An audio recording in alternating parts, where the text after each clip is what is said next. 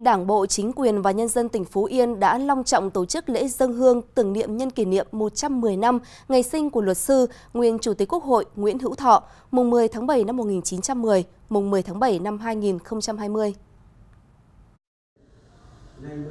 Buổi lễ đã ôn lại thân thế sự nghiệp cuộc đời cách mạng của luật sư, Chủ tịch Nguyễn Hữu Thọ và sự kiện quân dân Phú Yên ba lần giải thoát ông khỏi gọng kìm quản thúc của địch.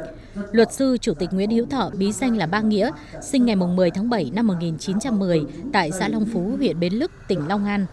Ông là một trí thức yêu nước tiêu biểu, một nhà hoạt động chính trị, nhà lãnh đạo xuất sắc của nhà nước và mặt trận Tổ quốc Việt Nam. Với luật sư Nguyễn Hữu Thọ, mảnh đất con người Phú Yên đã để lại nhiều tình cảm sâu đậm và ông đã coi Phú Yên là quê hương thứ hai của mình.